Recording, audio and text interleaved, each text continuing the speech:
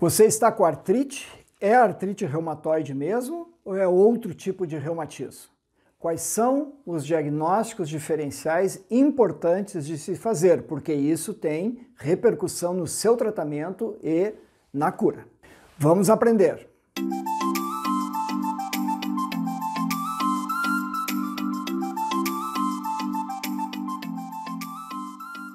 Existem muitas situações clínicas em que há uma confusão entre o diagnóstico exato do que a pessoa apresenta. É uma artrite reumatoide ou é uma outra forma de artrite ocasionada por várias outras situações, algumas delas inclusive curadas com antibiótico, por exemplo, uma artrite infecciosa.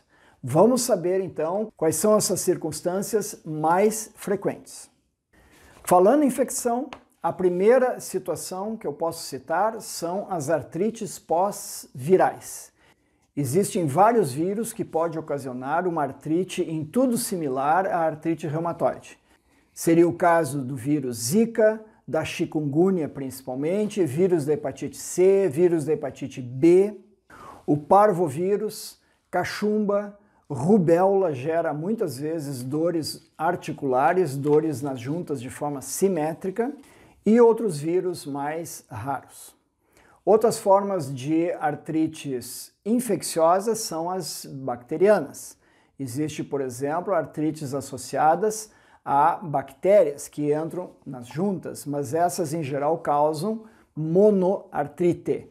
Então, seria importante fazer o diagnóstico diferencial nos casos de apresentação da artrite reumatoide monoarticular, uma junta apenas inflamada.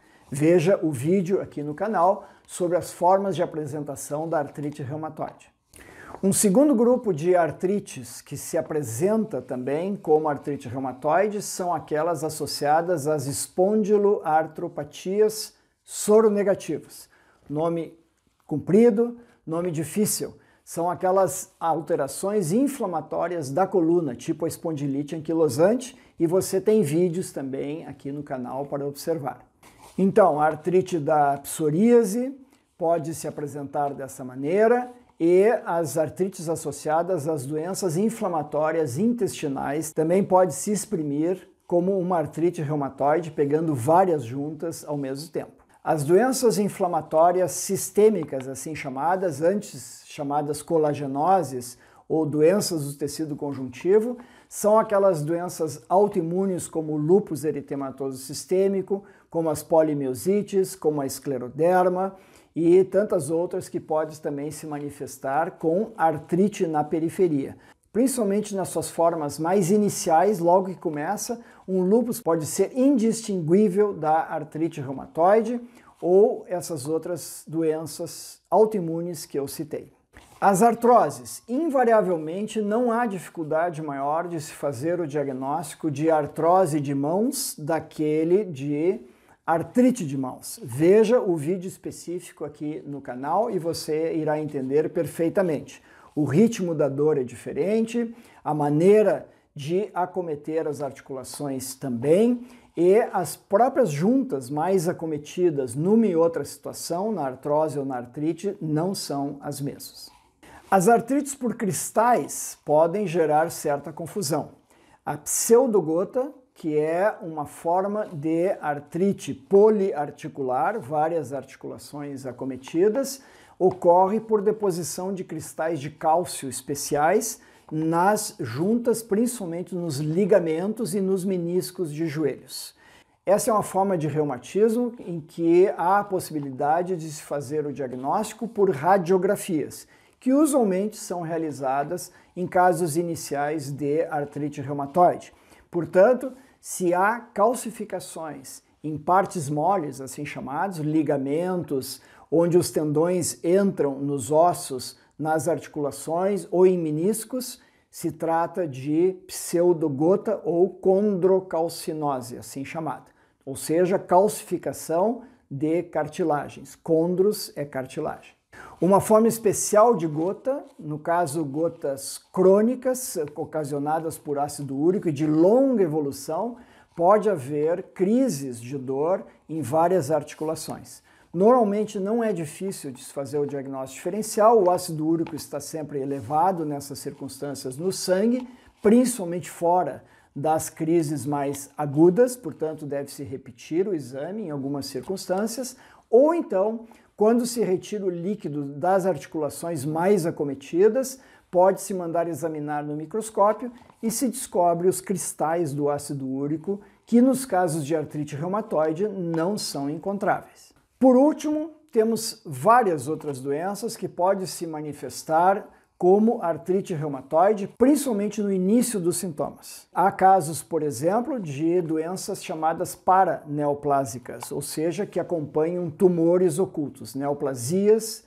câncer oculto. Então, a pessoa pode aparecer no consultório com um quadro que pareça artrite reumatoide, na verdade, deve-se investigar sempre a possibilidade de haver algum tumor oculto se e principalmente a pessoa tiver outros sintomas. Coisas inexplicáveis como grande perda de peso, que não é comum em artrite, ou manifestações como aparecimento de ínguas pelo corpo, que o médico chama adenopatias, ou alterações nos exames de laboratório que indiquem a presença de algum problema de natureza oncológica. Doenças crônicas da tireoide, principalmente hipotireoidismo avançado, pode se manifestar como dores articulares também, muita fraqueza, problemas da musculatura. Sarcoidose, que é uma doença autoimune do pulmão, também pode ter dor articular importante. As alterações do coração, das válvulas do coração, por endocardite infecciosa, bactérias que se localizam naquelas válvulas do coração, pode justamente se disseminar pelo corpo através do sangue, porque o sangue circula justamente graças à bomba que representa o coração. Então, o coração está mandando esse sangue para a periferia ele chega nas articulações, essa bactéria que está ali invade então essas juntas e provoca inflamações localizadas. Então, só o médico poderá dizer com certeza o que, que está acontecendo.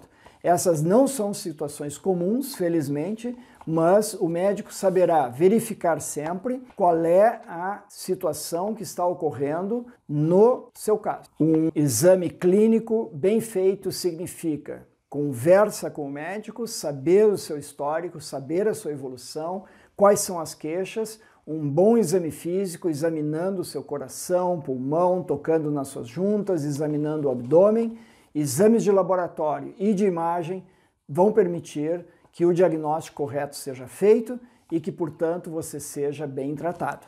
Normalmente, quem trabalha bem essa parte das articulações, das poliartrites, é o reumatologista. Procure o um médico dessa especialidade na sua cidade e boa sorte no seu tratamento.